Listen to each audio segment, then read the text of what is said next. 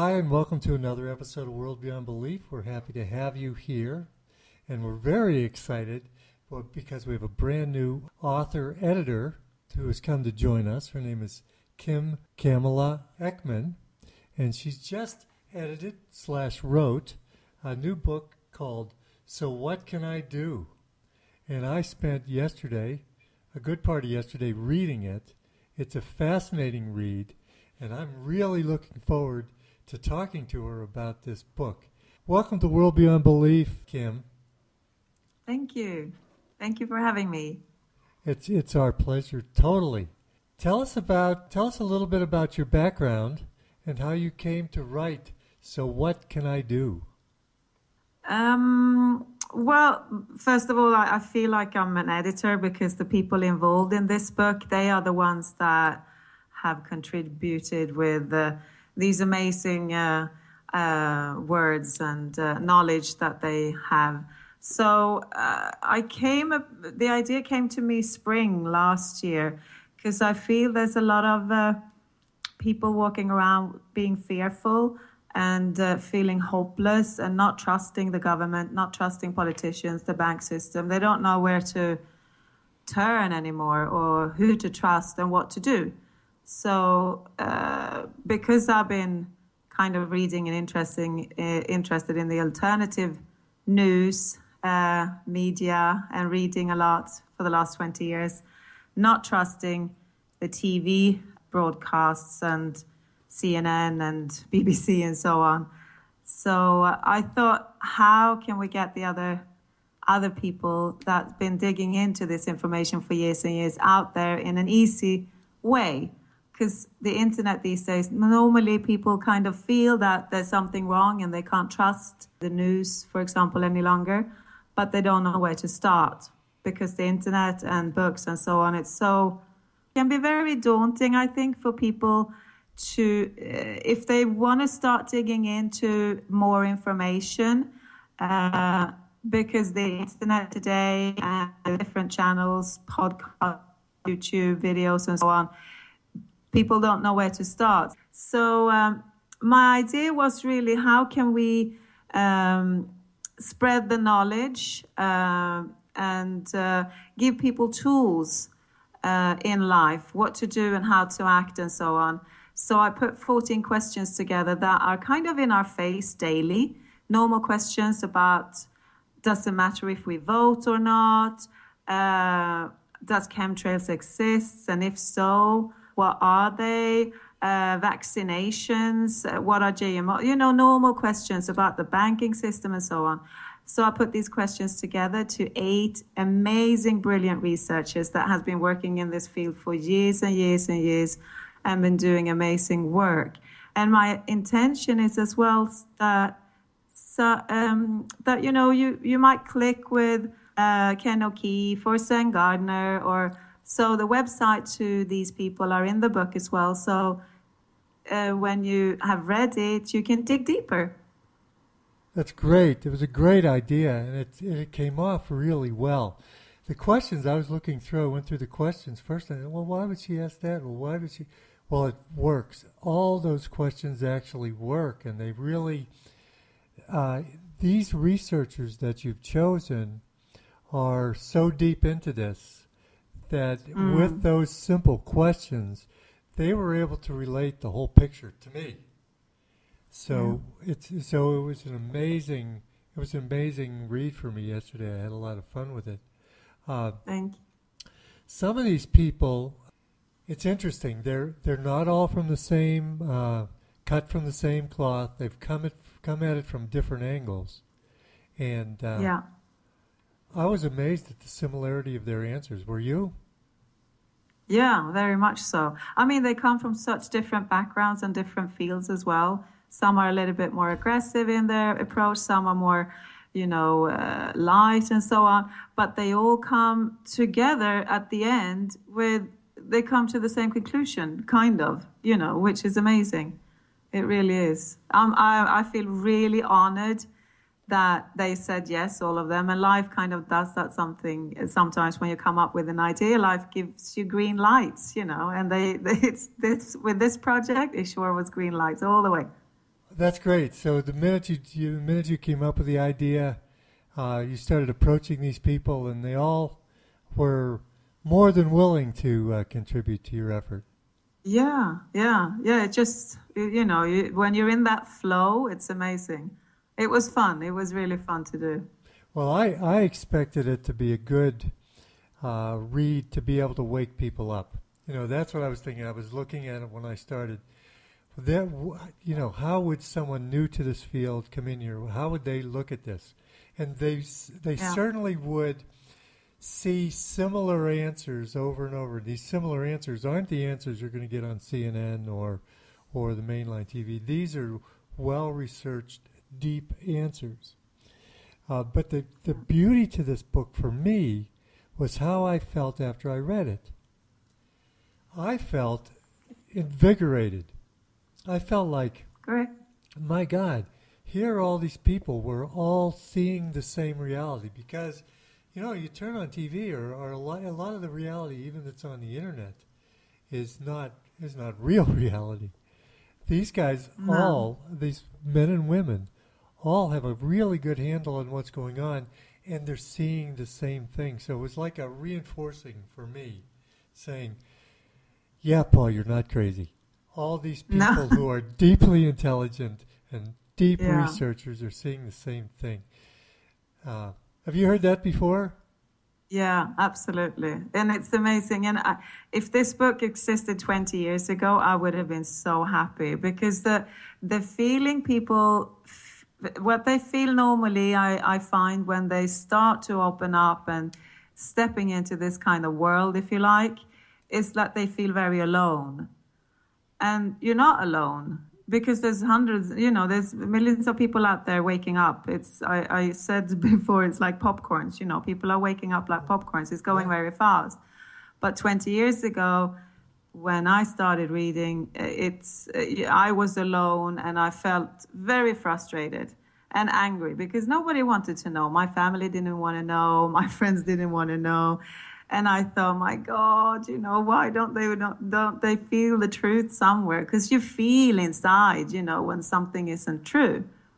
And uh, this book is it's easy access. It's easy access to give away because I see as well people living together, maybe husband and wife, and one is in this field, or I wouldn't say field, more awake, uh, not looking down at the people. You know, I'm not judging anybody that doesn't want to open the door because it's all about timing in life as well. I find, but uh, it's it's a great gift to maybe just put on the coffee table. And please, all women, don't go and say, listen, you have to read this to your man because they never will then. right, exactly. just leave it on the table. and the people that you picked, Kim, it's really, uh, they're all just full of love. These people yeah. are uh, high level uh, thinkers. When I was uh, I've, I've written a, I wrote a book on ego development and it's how it's the different levels of consciousness how as you grow uh, you see things more differently. Your uh, sense of self gets larger and you encompass more and more people and these all these people are very high level thinkers and they're very sweet nice people. It's like mm. spending a day with oh, uh, people who really care about you telling you how how life is. Um, yeah, it was it's really really good choice of uh, of people that you were interviewing. I I was thinking of coffee table book too, but then I was thinking this morning. I was thinking, boy, it'd be really good if somebody had a little bit of money to buy some of these for uh, doctors' offices, anywhere yeah. where people have to spend time, and just yeah. have it. Uh, just have it be there. You know, some people are going to look at it and and just look at some names and decide that that's not where they want to go. But other mm. people, if you just start reading it, I mean, you start reading.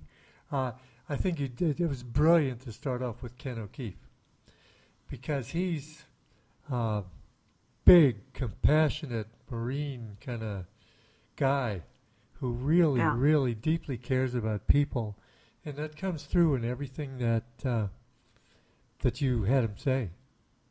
Yeah. Yeah, he was. Really... Uh, he's uh, yeah, and he's sharp. I think he doesn't cut corners. You know, he's. Uh, I can listen to him forever. I can listen to everybody, but, you know, but he's uh, he kind of. Uh, it's uh, yeah, you don't get tired of listening. No, he's uh, and he's he's not somebody that sits around. He's out No. there doing it and seeing Yeah. it, and uh, Yeah, I Yeah. think they all are. They work, you know, very, very hard and has been for years and years and years. So uh, it's uh, it's nice as well to have their work in the book. So hopefully people will tap into more of their their video channels and uh, websites and so on, and read and buy their books and see their documentaries and follow them on Facebook and social media and so on because they have amazing information that carries on every day. It doesn't stop. Right, right. Also, I- it was it was really inspiring to me, and I was hoping that everybody could get a copy. And I can remember when I uh, lived back in the United States, if you uh, request to take a book out, a lot of times the library will buy that book.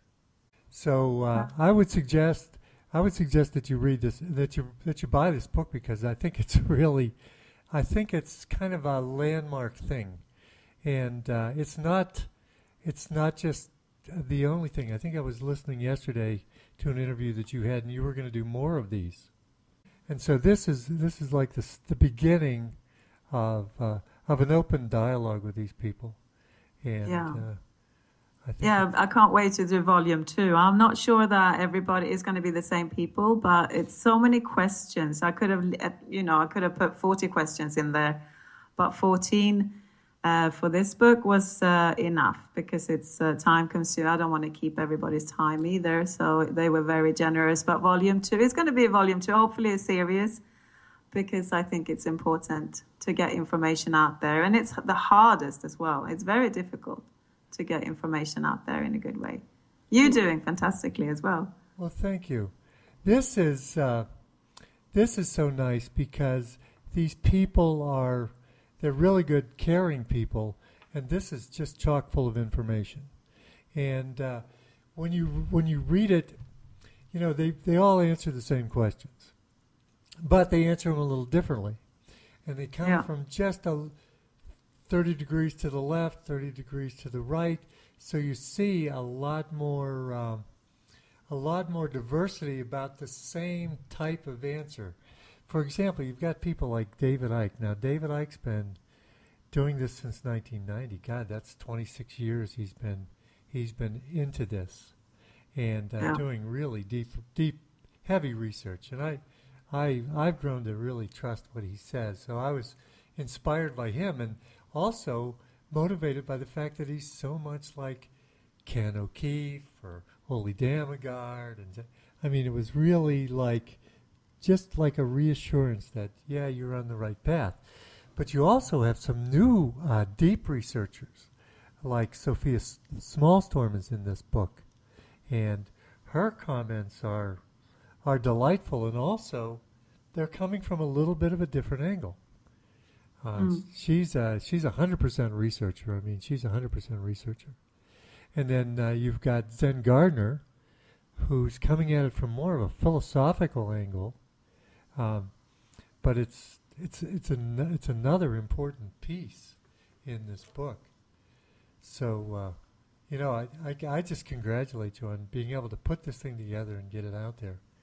Uh, it's really nice. What? Uh, so so you did this over a period of six months or so. Yeah, I started in May and we released it on New Year's Eve. That's, so seven. So yeah, that's great. seven months. Yeah. and you're and you're self-publishing this one. Yes. Yeah.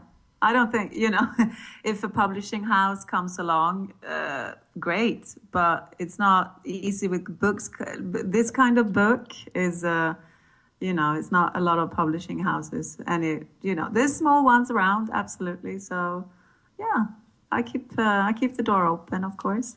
Yeah. But at the moment, it's on Amazon, self published. And it's called "So What Can I Do." Um, Yeah.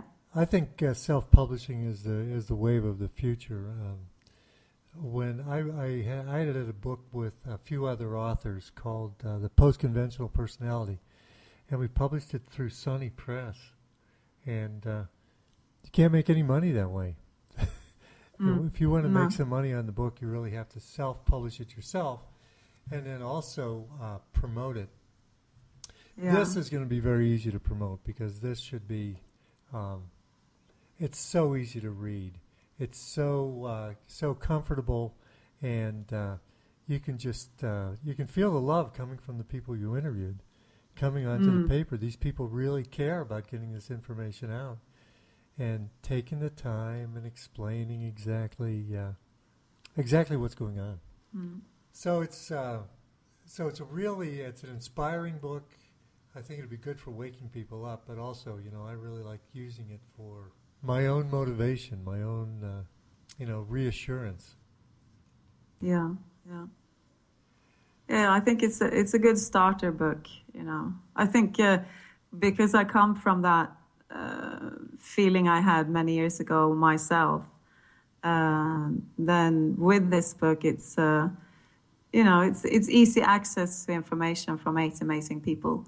So uh, it's uh, and you know it's with it as well, you you feel that you're not alone, and some of them actually say this in the book as well, because you you that's that that's not so nice to feel that am I crazy? Am I alone in this? And you know, when when all the friends and family think they don't want to hear, you know, they don't want to listen, and they think you're crazy.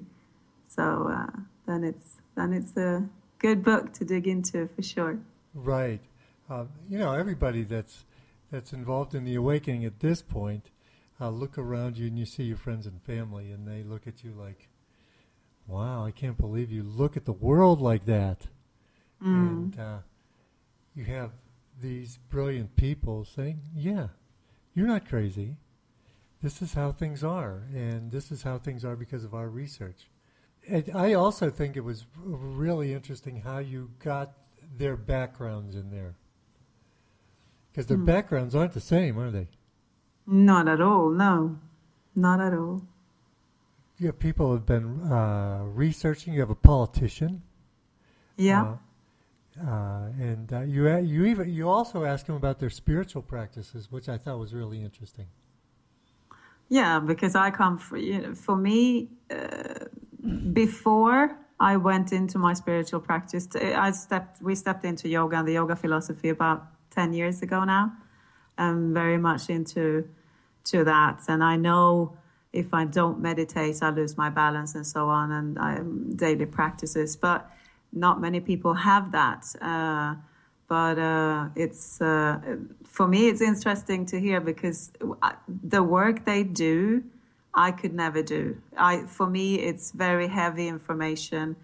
Uh, to deal with. Uh, so it's interesting. How do you keep your spirit high? You know, because uh, it's it's quite hard work they're doing. I think, but uh, they're doing fantastic. And and like you said, the politician Cynthia McKinney, she has done done so much. She's so active, and she's an amazingly strong woman.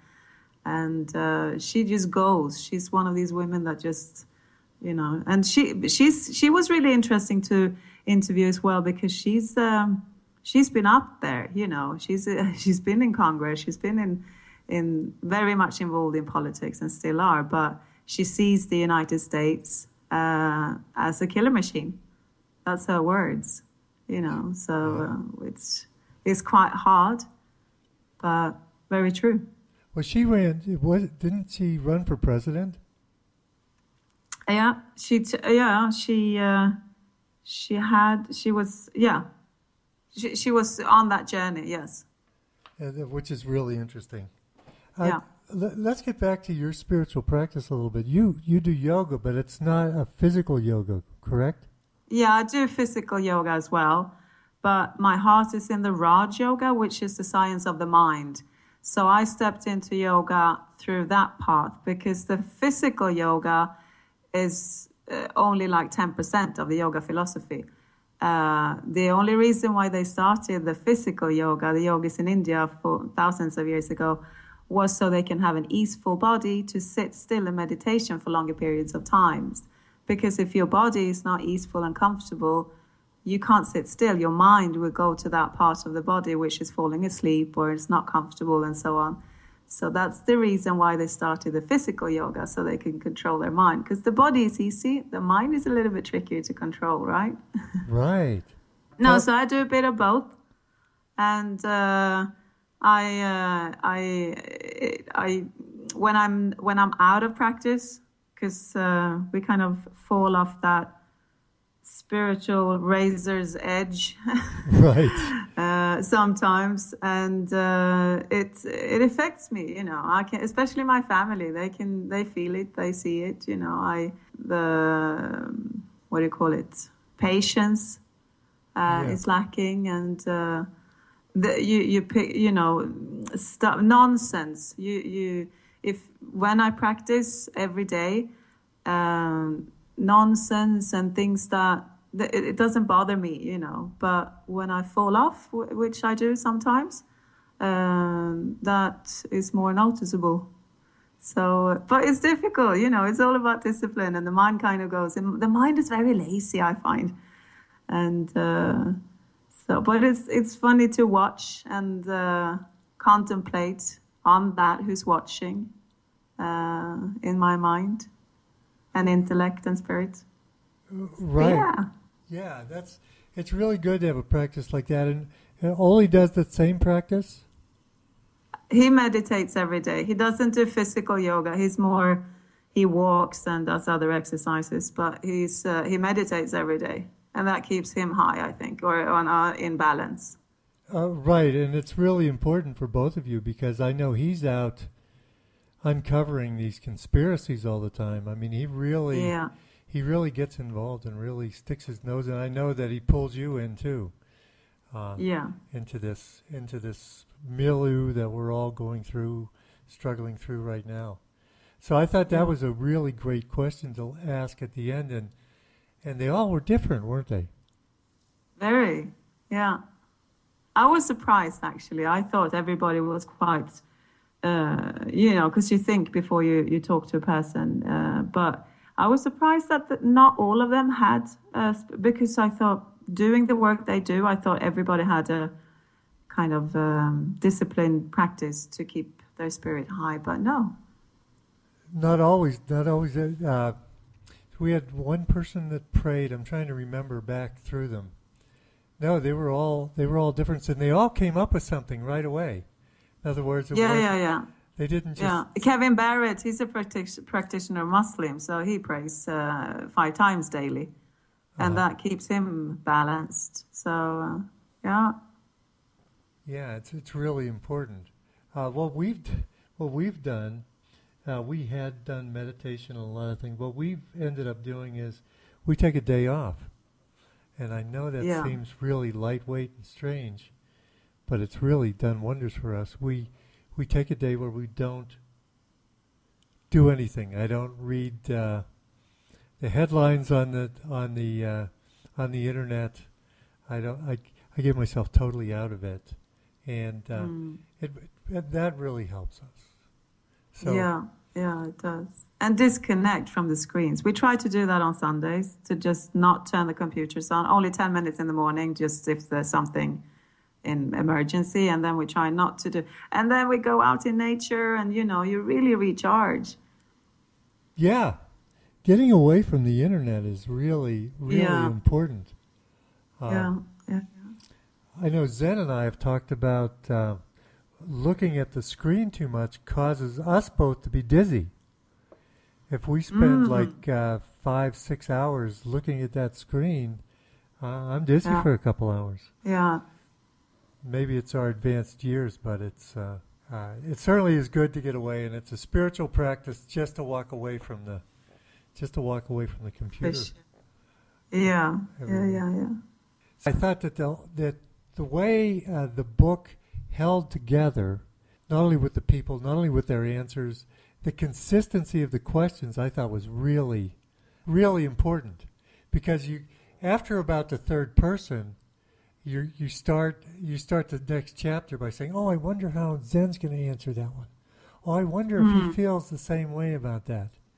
And Yeah. uh, and when you read into it, uh, it's a yes and no.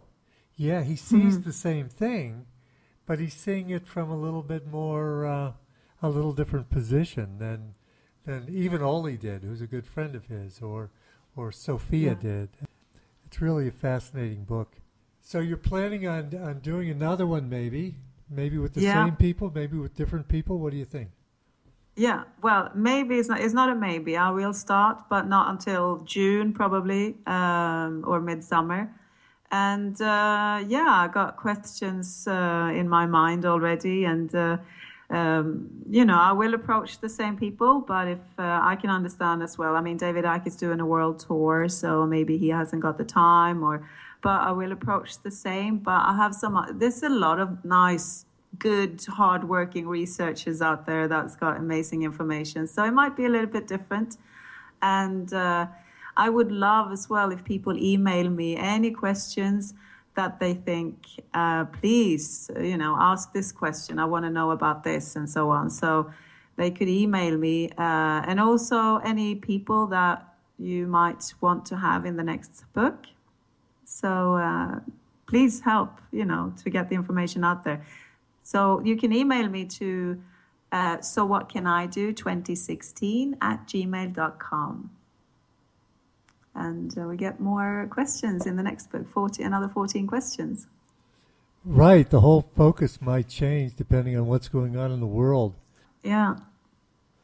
No, so these 14 questions that was that were, that are in this first volume are kind of, you know, for me the normal you and I probably know uh, a lot around this, but and anybody who hasn't uh, read anything around any of these questions might be uh, might be a lot, you know, which is great.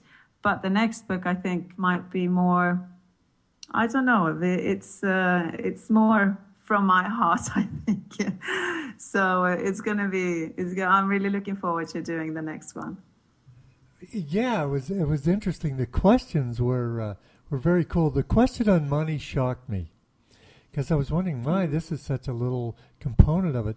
But no, it was really it was really a key question, and they It's all a biggie. it's a biggie, and they and they all expanded uh, on it into their different uh, niches, uh, how they saw it, saw it coming. I thought it was a brilliant question. Um, Yeah. yeah, it, it it it it uncovered a lot of the control system, how they all see the control system being put together. Uh, Yeah. So that was really interesting. Yeah, I was sitting here thinking of uh, what people could be in the next book. That if if if the next book just contains these people, I'll be happy as a clam. Um, so so you don't have to change. But I was thinking, the guy, uh, a guy that I've been reading uh, daily lately has been Jon Rappoport um, Mm. because of his work with the Zika hoax, and Yeah. uh, you know it'd be interesting to see him weigh in because he comes from investigative journalist, someone who is mostly focused on medical issues, so he might Yeah. be an, another interesting one to read to to approach. But but if you stick with these same people, I'm I'm happy. No, like I said, there's so many fantastic people out there. So who knows? But another eight people might be completely different. Might be it hasn't 100% landed yet. I just know I need to do it. Uh, you know, you have that calling sometimes uh, that you just need to do it. So we'll see. Yeah. yeah, it's cool. But please, if you if you if you think about if you think about people or questions, please mail me. Yeah, if we're all going through the awakening together, we always say. For And sure. we're all learning from one another and we're all giving one another a leg up to try to um, figure out what's going on and how we can stop this madness. Yeah. And, and so um, uh, Kim is inviting you to communicate with her and uh, help her with ideas for people or or ideas for questions that you'd like to ask. Um, this format is so cool because it's like a panel discussion without people jumping all over one another. You know, uh, you float the question out there, and everybody has time to answer it and answer it thoroughly. and you can go back and you can look at the specific questions with the different people, and you can really feel their different uh, different viewpoints. It's uh, it's a really cool format. Thanks for thinking of it. well, I'm I'm just an instrument, you know. Right. Yeah. So, uh, so this is available through Amazon. Do you have a uh, do you have a website that they can go to to uh, to get this? Uh, no, it's just on Amazon, Paul, at the moment, uh, and I think that's just the it's easier there. It's uh, on uh, .com and .co.uk. It's on Barnes and Nobles as well, um, and uh, yeah, get it there. Spread the word. Yeah, so you can so you can pick it up there. There are other uh, there are other type of things on Ole's site. This is uh, this is the real important thing right now. Is is this? So what can I do to get this thing started? If uh, if you're thinking about uh, getting something for somebody that might be waking up, although you know it's really hard to uh, it's hard to wake people up. They kind of either they do it when they want to do it and uh, yeah. and that's about it. But if this just happens to be on the coffee table, or just happens to be in their environment, this could really go a long way to catapulting mm. someone into into being awake. I loved all the people in it. I loved your questions, and it was an enjoyable afternoon for me yesterday. Thank you. Thank you very Great. much. So that's brilliant. so it's interesting, I find as well, because all of them, like you said, they're all different, very different, coming from different backgrounds and doing different work, uh, but in this field. But they all kind of come as well when when uh, the question comes together. So what can I do? They kind of all say that you have to start with yourself which is amazing. I really find that's the yoga philosophy for me as well. You know, you have to start with yourself. Come down from your head down into your heart. The longest journey for that we make, I think. You know, a lot of people say that, but that uh, that really warmed my heart listening to them and making the book. That start with yourself, and then, you know, we can do something. Everybody can do something. People feel hopeless, but we can do something. Right, but it is the longest journey from the head down into the heart. I know. Right. it shouldn't be though, should it? no, it shouldn't be. And and all these all these people are in that journey. You know, yeah. all these people are. Oh, we all are. Yeah. Yeah, we're all going through this, and you know, some of them started off by doing some uh, real hardcore research. I mean, if you look at uh, Sofia Smallstorm or or David Icke, they've really done some heavy duty uh, mental work to get to put all this stuff together. But notice where they are. They're still in mm. their heart. They're yeah. still coming from a loving place, which is a real important element in this book too, I think. So that's really good. So uh, I just want to, uh, to I want to make sure that they can get their book, and they can get it through Amazon.com and they can communicate with you. What is your uh, what is your email again, Kim? So what can I do? 2016 at gmail.com. Right, and uh, I want to encourage them to feel free to communicate with you uh, on this book and uh, and help you yeah. with help you with the new the new book that you might be getting getting started with in July. But this thing is a I think it's uh, it's a really precious possession and uh, to have uh, these people uh, all their comments together in a loving way in one in one book is a real is a real gift. So, is there anything you'd like to say before we uh, we end this little short but potent interview? Um, you're not alone. cool. You're not alone. We're you know we're all together, and uh, let's make a difference. That's great. Thank you very much, Kim. It's been it's been Thank a pleasure. You, I, it was a pleasure yesterday reading the book, and it's a pleasure today uh, talking to you about it.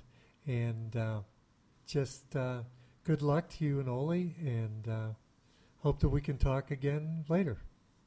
Thank you so much. Bye.